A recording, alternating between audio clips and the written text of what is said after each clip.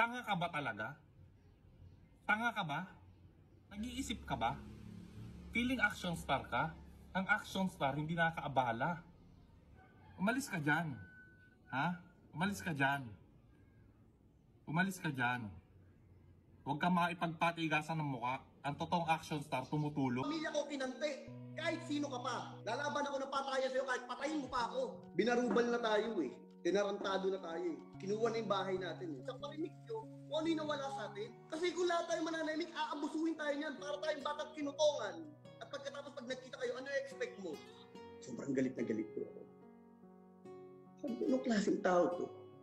Sa gitna ng pandemya, sa gitna na nangyayari sa ating bansa, nauna nyo pang isipin, ipasara ang ABS-CBN bago kaysa tugunan ang lahat ng pangangailangan ng ating bansa. Tapos yung mga tao, tuwang-tuwa. Tuwang-tuwa kayo na nawalan ng trabaho ang 11,000 na tao. O ngayon, kaming 11,000 na tao, ano mangyayari sa amin ngayon? Ngayon, kaming mga artista, paano namin tutulungan ng ilang pamilyang tinutulungan na bayan. Ha! Woo!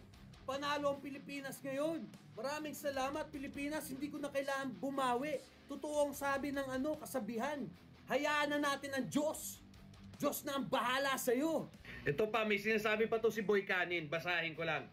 Sabi ni Boy Kanin, Pasensya na sa lahat ng taga-suporta natin at kasalukuyan na hindi ako makapaniwala at magulat sa pagkawala ng aking Facebook page. Talaga?